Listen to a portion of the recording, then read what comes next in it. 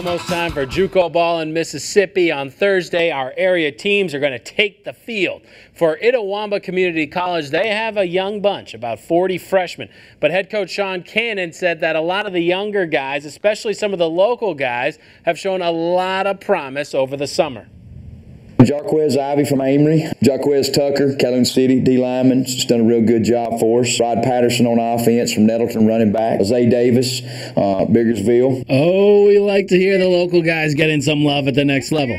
And that's just to name a few. But these young guys are going to have to grow up real quick once the season starts. But they do have veterans like Quadarius Hodges to help them along. Uh, we have a lot of good talent on the team. So I think that'll um, help a lot with the younger guys because they quick to learning too. Not a lot of learning time left. Thursday, the Indians travel to Jones, who are ranked 12th in the preseason poll. But no matter the opponent, these guys are just ready to hit the field and improve on last year's 4 and 5 mark. I'm really excited for me and the team. I really, I really think that we can do a lot of good things this season. It's going to be a fun year.